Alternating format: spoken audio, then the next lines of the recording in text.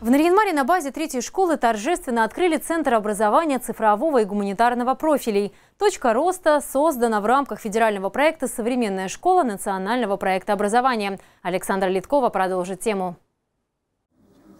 Поиграть в шахматы, запустить квадрокоптер, научиться оказанию первой медицинской помощи или собрать робота. Проводить свободное от учебы время школьники теперь могут интересно и с пользой.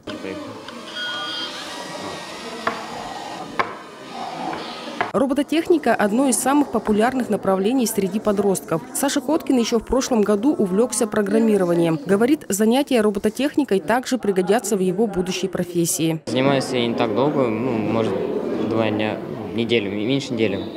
Э, занялся, потому что стало очень интересно. Это довольно очень интересное хобби, так сказать, можно.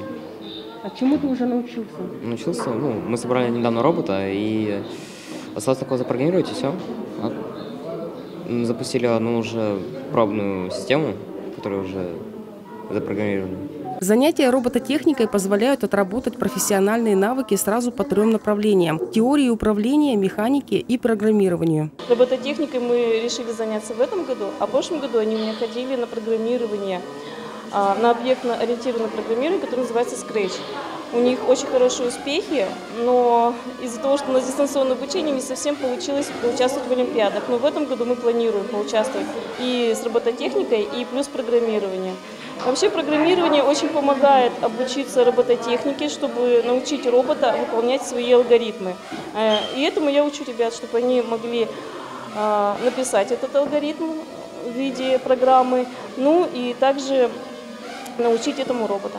Посещая центр «Точка роста», учащиеся разных возрастов получают возможность получения дополнительного качественного современного образования. Кроме того, обучение в центре помогает сформировать у ребят современные технологические и гуманитарные навыки. Я думаю, что и школьникам, и, и учащимся, и педагогам э, это как раз даст возможность овладеть новыми компетенциями в области вот трех предметов – информатика, технология и основа безопасности жизнедеятельности. Интерес большой и достаточно быстро они овладевают всеми этими новыми методами, осваивают новую технику.